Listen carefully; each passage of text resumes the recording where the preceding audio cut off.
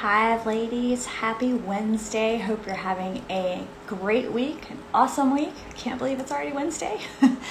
um, yeah, hopefully, you guys got all the uh, Black Friday, Cyber Monday specials that your heart desired for the weekend.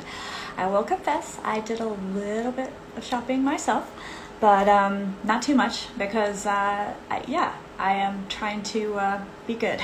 so, anyway, just wanted to pop on and say hi and talk about. This is a question that I get asked actually a lot, and I just I forget that a lot of you are new to the hair loss community, and um, welcome, by the way. Um, it's a great, uh, com- supportive community, and um, you can ask me any questions anytime. Um, there's so many people in the community that are willing to um, help and answer any questions you may have. But one of the questions that um, I get is what is a topper? And I know a lot of you hair loss um, pros are like, really? Um, but that's actually a really valid question because uh, it was only two years ago that I actually learned what a topper was. I just assumed um, hair extensions or wigs were my only options.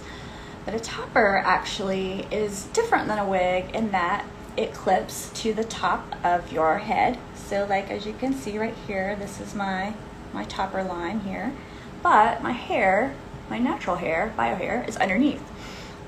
So it incorporates your bio hair, got this crazy one right here, your bio hair, um, it incorporates with that. Whereas a wig, there's different kinds of wigs, and some do incorporate um, your own hair with the uh, piece, but most cover your entire um, cap. So you would put your bio hair up underneath that cap, and it would just be the wig hair that is um, hanging out there for everybody to uh, enjoy. So toppers uh, just sit on the top of your head. That um, that's the best way to describe it that I that I can think. And my toppers, I have a comb in the front and I have, um, I think this one has five clips, sometimes six, sometimes four. It really just depends on the size of um, the topper that you want.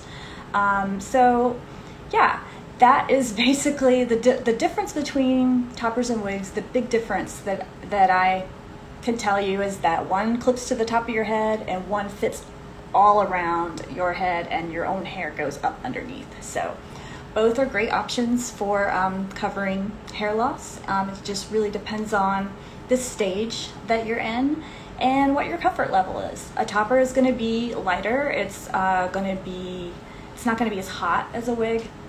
I know a lot of you ladies are in Australia and right now you're, you're having like a heat wave or something. Um, I'm in Virginia Beach, Virginia.